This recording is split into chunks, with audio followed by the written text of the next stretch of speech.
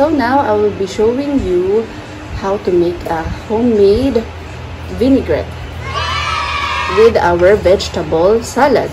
So, itong salad ko, ay mga vegetable salad ko, ayan, meron lang tayong lettuce, meron tayong white onion, meron tayong bell pepper, ayan, meron tayong carrots. But you can add other vegetables that you want in our vegetable salad. And for our vinaigrette, we need our vinegar, our um, onion powder, our paprika, our pepper, garlic powder, and our, this guys, ito ay ang ating extra virgin ko, uh, olive oil. Hindi siya yung olive oil lang, kundi extra um, olive oil. Yan.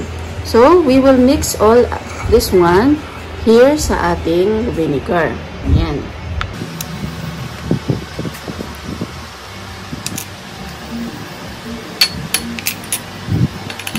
Mix lang natin. Ayan, pagka-mix natin, ito na ang ating vinaigrette, homemade vinaigrette. Ito, ginawa ko lang ating homemade vinaigrette kasi uh, para mas healthy siya. Wala siyang... But, if you want yung mga dressing na ano, pwede rin naman, kaya lang ito, yung ating homemade vinaigrette. Ayan. Sa mga uh, bawal kasi sa mga dressing na yung Caesar salad, ito ang gawin nyo para pwedeng pwede sa kanila yung magkaroon ng sausawan ang kanilang vegetable salad. We can uh, spread it to our salad like this or we just can put it on the side. So, ito na ang ating vegetable salad.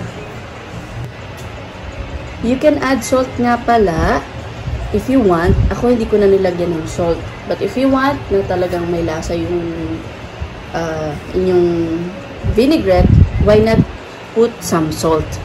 Um, but this one kasi, i meron na akong ilalagay na uh, yung kabila kong video na ating tuna, tuna steak. So, medyo may lasa na yung ating tuna. So, better pair na lang siya doon sa ating mild lang na taste ng ating salad. Pang, uh, parang refreshing lang na ano, pang pa-fresh lang ng ating uh, tuna. So, yun, if you want to use tuna, uh, salt, go ahead po. Hope na gawin nyo rin to guys, mga ka-fam. So, thank you for watching. God bless!